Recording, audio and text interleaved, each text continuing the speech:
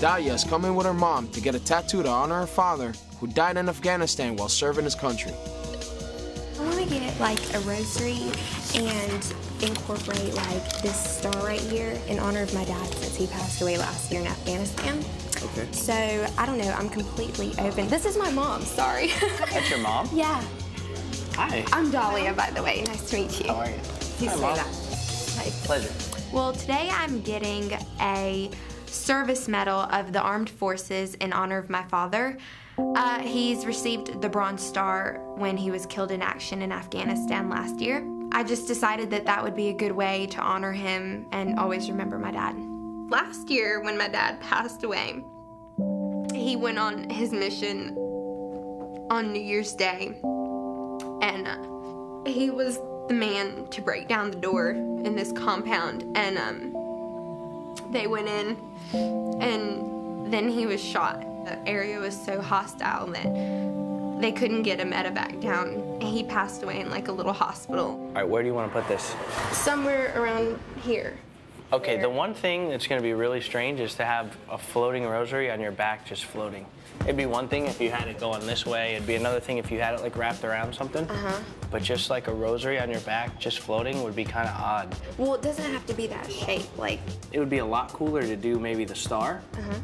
and do it nice. Uh-huh. Okay. Uh-huh. We'll do the wreath around it with the star and the shine and everything, and then, you Mm-hmm. like know. in shadow. Now that Nunez has come up with a better idea for Dalia's memorial tattoo, he can start drawing. Dalia brought her mom for company while she gets her memorial tattoo. You guys are like so hot. I'm ready for you, actually. It took Chris Nunez a little while to finally get the stencil on. It was about maybe six times or so. I think Garver counted. Is it even? And then finally Garver had to come in and do the final touches for it. Hey, Chris. Come here for a second, pal. Is that off? This thing's off. I think that's off. Yeah, this is off. When something's crooked to start, it makes everything else down the way look crooked. You should line it up with the other tattoo. I should line it up with the other tattoo. Yeah. She, you know, had done also another little thing that was a memorial to her dad. You know, it was just done a little bit harsher than she would have probably liked. Sometimes it takes another set of hands and eyes to get the job done. You ready? I'm ready. With the stencil finally in place, Nunez can start tattooing.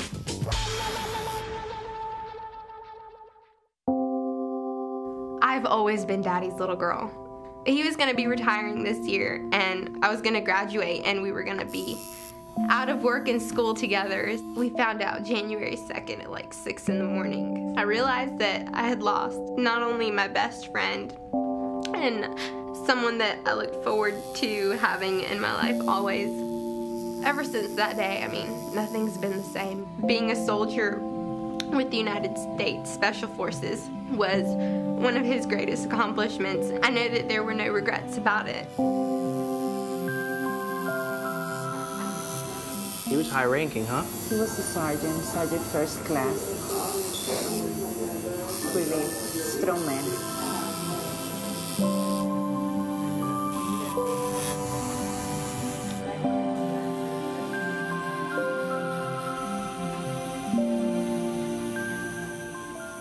You feeling? Good. Feels good. When you go like that, it feels better. Yeah. Sometimes a little massage break is in order. Like a cat. I can't believe that, Dalia. After adding the white highlights, Nunez is done, and Dalia has a tattoo that does justice to her dad's memory. Seeing everything they've been through, having them be so cheerful and, you know, cool about everything anyways, you know, it's nice to deal with that. Oh my God. I looked at it and I actually got like emotional. I don't think it could have come out any better. I just want to keep my dad's memory alive and always know that like he'll always be a part of me and always be there no matter what. Somebody's there watching me and always has my back. Cool. I love it. Good. My dad will always be on my back and in my heart, my mind.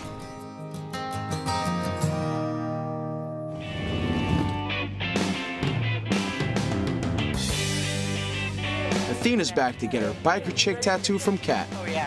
Um, Definitely. Let me show you your design. I really hope you like it.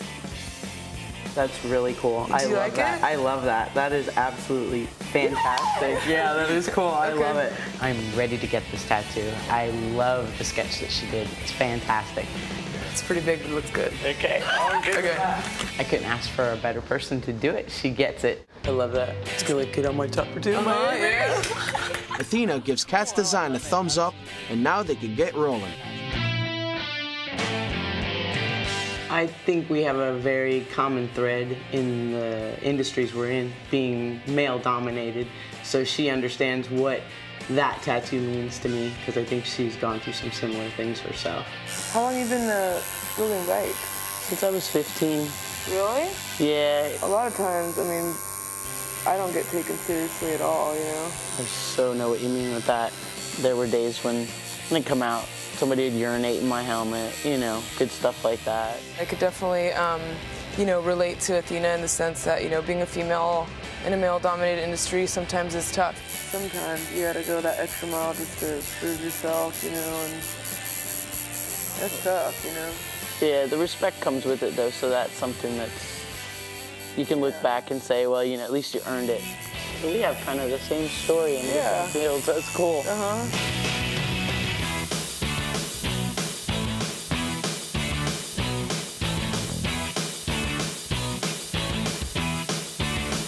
That's beautiful. Wow, look at that. That Dig is it? so badass. I love that. I so dig it. I love my tattoo. I think it is the most beautiful tattoo any girl could ever have. And it's done by the best. She represents me she looks like me. Kat was glad to have someone understand what it's like to work with a bunch of men. But now, it's back to the boys.